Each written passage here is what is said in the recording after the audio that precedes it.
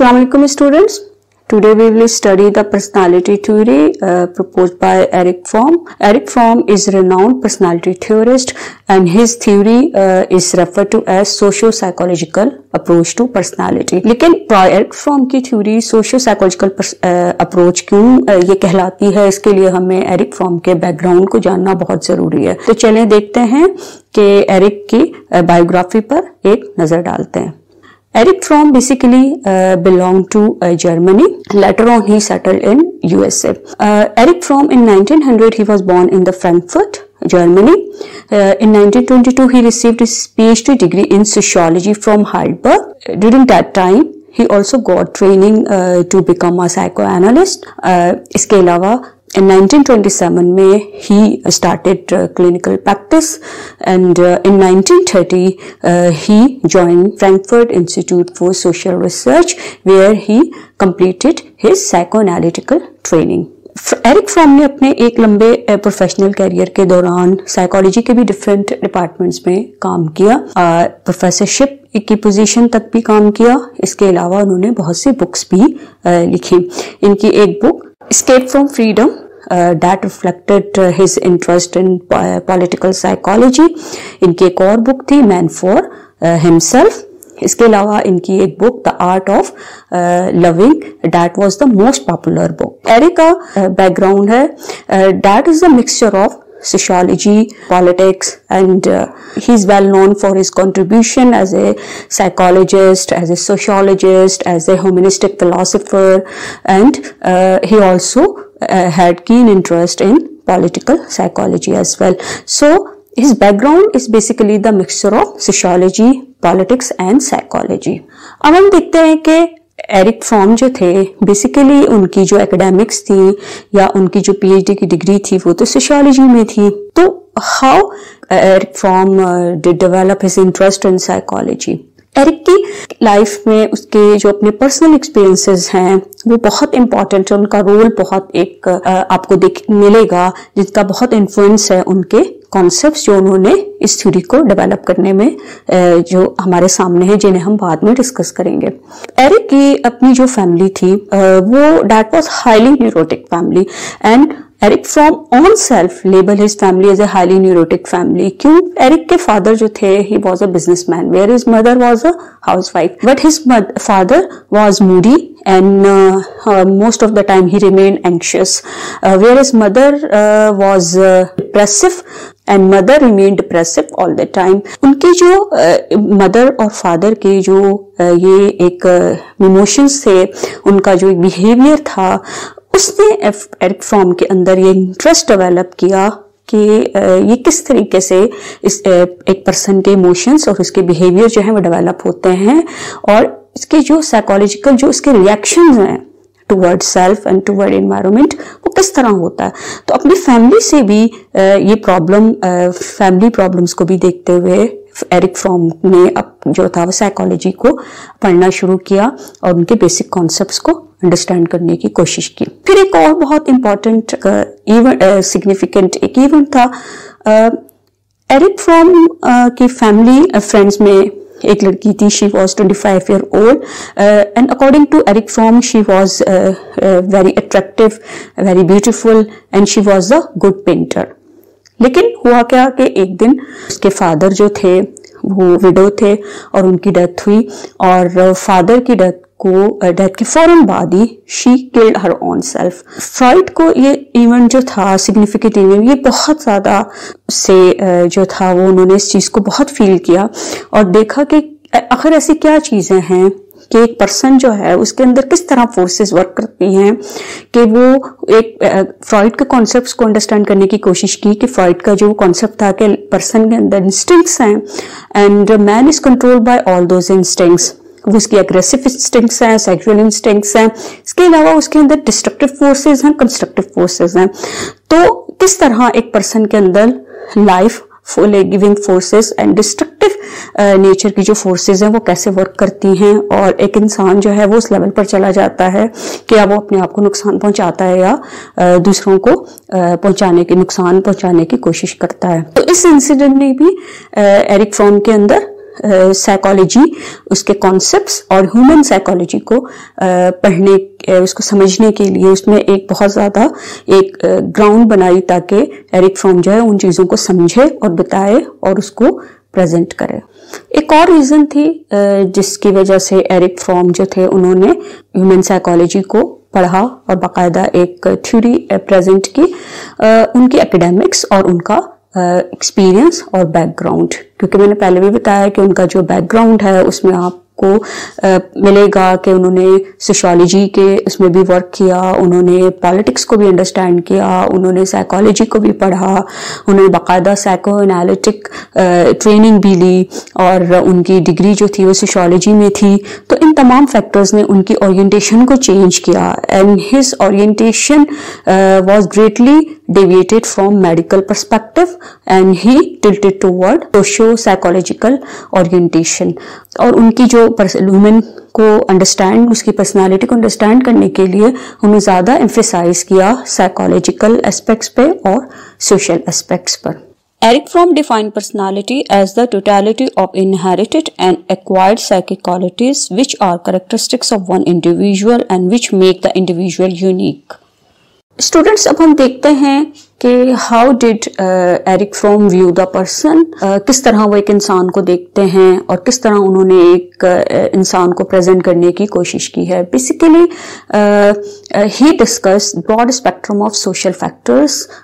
in shaping human personality लेकिन social uh, factors को उन्होंने इतना ज़्यादा उस पर फोकस क्यों किया इतना एम्फेसाइज क्यों किया? एरिक फ्रॉम के अगर बैकग्राउंड को थोड़ा सा देखें तो एरिक फॉर्म जो थे, उनका सोशियोलॉजी के साथ साथ उनका पॉलिटिक्स में भी एक इंटरेस्ट रहा। और ये इंटरेस्ट किस तरह हुआ कि during childhood he had opportunity to discuss political matters with sociologist who used to work with his father तो उस सोशियोलॉजिस्ट के साथ रहने से इन्हें बहुत से पॉलिटिकल इश्यूज़ और उसमें जो सोशल एक सोशलिज्म होता है सोशल ऑर्डर होता है, उसको डिस्कस करने का अंडरस्टैंड करने का बहुत मौका मिला। When he settled in America then he joined American socialist party और इन्होंने सोशलिज्म को प्रेजेंट किया। But he presented socialism from humanitarian perspective क्योंकि इन्होंने ज़्यादा इनका एम्फेसाइज है ह्यूमन बीइंग पर, उनकी वेलफेयर पर। इस वजह से इनके उस पार्टी के मेंबर होने की वजह से भी सोशलिज्म पर वर्क करने की वजह से भी एरिक फ्रॉम ने बहुत से कंफ्यूज सोशल ऑर्डर्स को भी डिस्कस किया. That is the result of political system according to Erich Fromm किस पॉलिटिकल सिस्टम जो है basically that has various functions and it has economic social and moral function as well according to Erich Fromm एक political system जो है, वो इस तरह का होना चाहिए कि जहाँ पर एक सोशल ऑर्डर हो और वो एक ऐसा एक सिस्टम हो जिसमें एक ऑर्डिनरी पर्सन जो है he must be respected and must be provided equal chance to grow अब अगर आप इन सोशल पॉलिटिकल सिस्टम जो uh, किसी भी सोसाइटी में होता है अगर आप उसको देखें कि अगर उसमें प्रॉब्लम्स हैं उसमें फ्लॉज हैं सिग्निफिकेंट फ्लॉज हैं तो वो ह्यूमन बीइंग जो हैं उस सिटी वहाँ के जो रहने वाले हैं उस सोसाइटी uh, में जो रहते हैं उनके बेसिक राइट्स को भी फुलफिल नहीं किया जाता और उनकी बेसिक नीड्स भी उनकी ग्रेटिफिकेशन नहीं होती है। अब वो जो सोशल एल्स हैं सोशल ईवल्स हैं, उनको रिमूव होना जो है, वो उनका बहुत ज़रूरी है। Erich Fromm also suggested solution for social evils social ills और उन्होंने कैसे सिस्टम को इम्प्लीमेंट करने पर ज़्यादा वो ज़ोर दिया कि जो, जहाँ पर लोग जो हैं, वो अपने राइट्स उन्हें पूरे मिले, उनको रिस्पेक्ट मिले, और वो भी की तरह अपनी लाइफ को एंजॉय करें। तो उस सोशल सिस्टम उस पॉलिटिकल सिस्टम का ऑब्जेक्टिव जो होता है, वो वेलफेयर है लोगों की, ना कि उनसे प्रॉफिट लेना। अगर आप इस कॉन्सेप्ट को अपनी सोसाइटी में भी देखें तो आपको क्लियरली ये चीज़ नज़र आएगी कि हमारे यहाँ भी जो पॉलिटिकल सिस्टम है, उसमें बहुत से ऐसे फ्लॉज हैं जिसकी वजह से जो एक आम शहरी है सिटीजन्स हैं, लोग हैं वहाँ के रहने वाले, उनकी बेसिक राइट्स भी फुलफिल नहीं होते, उनकी नीड्स फुलफिल नहीं होती और वहाँ पर वो इक्वालिटी वो जस्टिस नहीं है। जिससे लोगों की बेसिक जब उनके राइट्स फुलफिल नहीं नीड्स पूरी नहीं होती तो वो उससे उनके, बहुत से उनके इमोशनल और बिहेवियर रिएक्शन आपको नज़र आएँगे in response to inequality injustice and in gratification of when people have no chance to satisfy their needs अब ये जो इनका जो एरिक फॉर्म का बैकग्राउंड था, इसको आप देखें तो इसका उन्होंने इस सोशल फैक्टर्स को सोशल सिस्टम को डिस्कस किया कि किस तरह ये लोगों की पर्सनालिटी को शेप करते हैं, उनमें बहुत से प्रॉब्लम्स को क्रिएट करते हैं। इसी तरह रिक फ्रॉम ने उस दौर में बहुत से सिस्टम पॉलिटिकल सिस्टम्स और बहुत से सोशल uh, फैक्टर्स को डिस्कस किया। उन्होंने नासिज्म को भी किया कैपिटलिज्म को किया सोशलिज्म को किया। डिफरेंट सेंचुरीज में जो जितने रूलर्स भी रहे हैं यहाँ तक कि उन्होंने बहुत से प्रोमिनेंट रूलर हिस्ट्री के उनकी भी पॉलिटिकल uh, डीलिंग और उनकी जो लोगों के साथ डीलिंग थी उसको भी डिस्कस किया। अब एरिक फ्रॉम ने इन फैक्टर्स को लेते हुए ह्यूमन पर्सनालिटी को डिस्कस किया। इसके साथ एरिक फॉर्म ने जब एक ह्यूमन बींग को डिफाइन किया तो कल्चरल फैक्टर्स का एक बहुत रोल है, जिसमें आपका रिलीजन भी है, आपके बहुत से इंस्टीट्यूशन हैं। आप जहाँ से आप सीखते हैं, आपका लर्निंग इन्वायरमेंट है, आपके बहुत सारे सोशल नॉर्म्स हैं, आपके कस्टम्स हैं, बहुत सी रिवायात हैं, वो भी with the passage of time all these norms also influence human personality Erich की थ्योरी में आपको एक चीज़ बहुत नज़र आएगी। एक्सटेंशनलिज्म बहुत उसका एक इन्फ्लुएंस बहुत है इनके थ्योरी पर थियोरिटिकल कॉन्सेप्ट्स पर।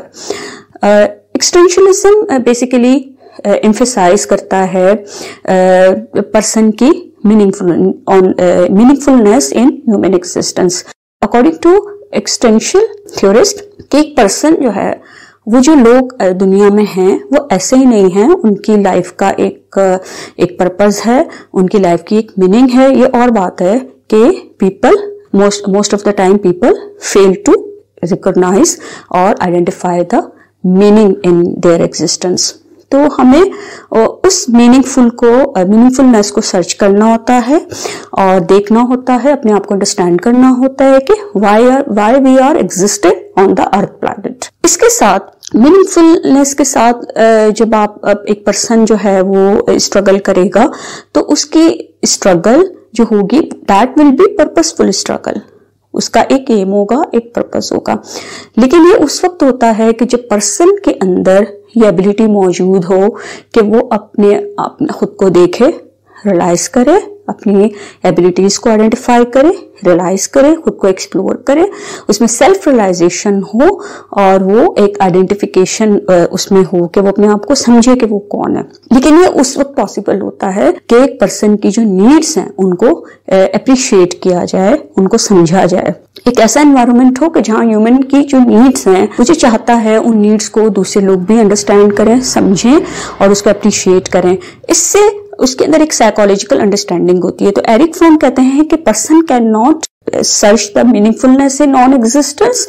without having psychological understanding of that तो साइकोलॉजिकल अंडरस्टैंडिंग उसी वक्त डेवलप होती है कि जब उन नीड्स को भी अंडरस्टैंड किया जाता है, समझा जाता है अप्रिशिएट किया जाता है, और फिर पर्सन जो है, वो खुद को आइडेंटिफाई करता है रियलाइज़ करता है कि उसे होना क्या चाहिए, वो है क्या और उसको होना क्या चाहिए, और उसे किस तरह लोगों के साथ रिलेट करना है। अब हम आगे देखेंगे एरिक फ्रॉम ने जो कॉन्सेप्ट बेसिक कॉन्सेप्ट प्रेजेंट किए हैं, उन कॉन्सेप्ट्स को हम वन बाय वन देखते हैं। ह्यूमन नीड्स की और भी बहुत से थ्योरिस्ट ने बात की, जैसे मैस्लो ने भी हायर की ऑफ़ नीड प्रेजेंट की मरे ने भी नीड्स प्रेजेंट की। तो एरिक फ्रॉम ने भी ह्यूमन नीड्स को डिस्कस किया, लेकिन एरिक फ्रॉम ने एक्सटेंशन नीड्स की बात की है। These needs differ from physiological needs के, जिसमें आपकी हंगर है थर्स्ट है साउंड स्लीप है, ये सारी नीड्स हैं। ठीक है, वो इंसान के सर्वाइवल के लिए ज़रूरी होती हैं, लेकिन एक्सटेंशन नीड्स भी होती हैं और ये इन एक्सटेंशन नीड्स का एक्सप्रेशन इनकी सेटिस्फेक्शन जो होती है, वो थोड़ी डिफरेंट होती है। इन एक्सटेंशन नीड्स के ज़रिए जो है, वो पर्सन अपने आप को आइडेंटिफाई करने की कोशिश करता है और इन इन्हीं के एक्सप्रेशन से पता चलता है कि एक पर्सन जो है to what extent he is aware on own self and to what extent he has identified on self on capabilities on potentials in needs का एक्सप्रेशन पॉजिटिव भी हो सकता है और नेगेटिव वे में भी हो सकता है। यूजुअली uh, जो लोग हैं उनकी वो उनकी जो नीड्स होती हैं, उस मामले में उनमें बहुत सी सिमिलैरिटी आपको नज़र आएगी। उनके डायलमास में वो बहुत से एक जैसे नज़र आएँगे, या उनकी कॉन्ट्राडिक्शन होंगी, उसमें कहीं ना कहीं आपको सिमिलैरिटी नज़र आएगी। इलॉजिक लॉजिकल चीज़ें होंगी फ्लॉज भी हो सकते हैं। कुछ भी इस तरह की चीज़ें हो सकती है, जिसमें उनकी एक आपको एक नज़र आएगा कि इसमें जो है वो पीपल आर अलाइक और इसी तरह बहुत से लोग एक ख़ास सोसाइटी में, एक ख़ास कल्चर में जब वो रह रहे होते हैं तो उनमें बहुत सी नीड्स ऐसी होती हैं कि जो शेयरिंग पर होती हैं, कि वो उन नीड्स को एक तरीके से उनमें शेयरिंग सिमिलर शेयरिंग नज़र आएगी, या वो सिमिलर जो एक्सपीरियंसेस हैं उनमें आप देखने को मिलेंगे। ये नीड्स होती हैं, ये जब शेयर होती हैं एक स्पेसिफिक इन्वायरमेंट में, एक सोसाइटी में कल्चर में तो उसके पीछे भी बहुत सी रीजंस होती हैं। एक ये भी होता है कि पर्सन कोई भी पर्सन जो है, उसकी मीनिंगफुलनेस अभी उसने आइडेंटिफाई नहीं किया। उसको उसकी जो एग्जिस्टेंस के जो एक पर्पस है, एक ऑब्जेक्टिव है उसको किस तरीके से जो है वो आइडेंटिफाई करना है। फिर इसी तरह बहुत से लोग जो हैं वो they feel empty from inside और उनको अपना इनर जो होता है that feel as if then inner is incomplete तो वो अपनी उस इनकम्प्लीट uh, जो इनर है उसको फर्दर डेवलप करने के लिए भी करते हैं या उन्हें अपने अंदर और बहुत सी ऐसी uh, चीज़ें होती है जिसमें वो चाहते हैं कि वो uh, थोड़ा सा ग्रो करें और अपनी वेलबींग को इम्प्रूव करें। ये भी एक रीजन uh, होती है। दूसरा sometimes people want to avoid the abnormality अब नॉर्मलिटी में भी बाजुकात लोग जो हैं, वो अगर एक सिस्टम में मिसफिट होते हैं या उनको एक कल्चर सूट नहीं कर रहा होता तो फिर वो रिलीजन को लेते हैं या वो समझते हैं कि ये रास्ता हमारे लिए ज़्यादा बेहतर है। तो इस तरह भी इनका एक्सप्रेशन होता है। लेकिन अगर ये जो नीड्स एक्सटेंशन नीड्स है, इनका अगर नेगेटिव वे में एक्सप्रेशन हो रहा है, हो तो रहा है, लेकिन नेगेटिव वे में हो रहा है, वो पॉजिटिव नहीं है तो उससे बहुत से प्रॉब्लम्स जो हैं, वो इसके पर्सनल लाइफ में और सोशल लाइफ में देखने को मिलेंगे। और वो पर्सन जो है, वो उस तरह स्टेबल नहीं होगा, जैसे एक्सटेंशन नीड का एक्सप्रेशन जिन लोगों में पॉजिटिव एक्सप्रेशन होता है और एक हेल्दी वे में। Not all the time a person can be positive in some situation person become negative लेकिन हेल्दी uh, आप कह लें या अप्रोप्रिएट वे ऑफ़ एक्सप्रेशन है वो uh, अगर प्रॉपर uh, उसमें चल रहा है तो उससे एक पर्सन के अंदर एक, आपको एक स्टेबल उसकी पर्सनालिटी नज़र आएगी और उसके अंदर आप, वो आपको ज़्यादा हेल्दी नज़र आएगा। तो एरिक फॉर्म के अकॉर्डिंगली अगर इन नीड्स को आप लेकर चलते हैं तो इंस्टेंशन नीड की एक्सप्रेशन इनकी ग्रेटिफिकेशन अगर प्रॉपर वे में हो रही है तो that will be appropriate for a person और एक पर्सन अगर स्टेबल है तो definitely people who are associated with that person will automatically will feel good and well